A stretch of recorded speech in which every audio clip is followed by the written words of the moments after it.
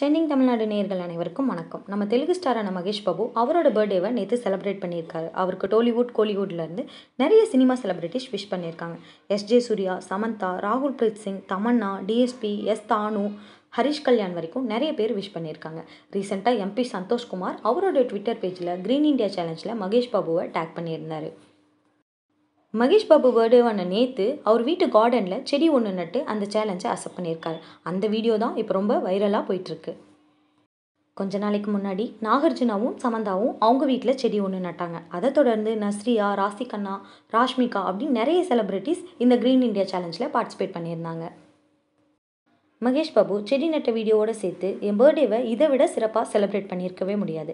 நல்ல ஒரு காஸ்க்காக சப்போர்ட் பண்ணலாம். அப்படின்றதோட இந்த க்ரீன் இண்டியா சேலஞ்சுக்கு ஜூனியர் என்டிஆர் நம்ம தளபதி விஜய் ஸ்ருதிஹாசன் இவங்க மூணு பேரையும் டேக் பண்ணியிருக்காரு.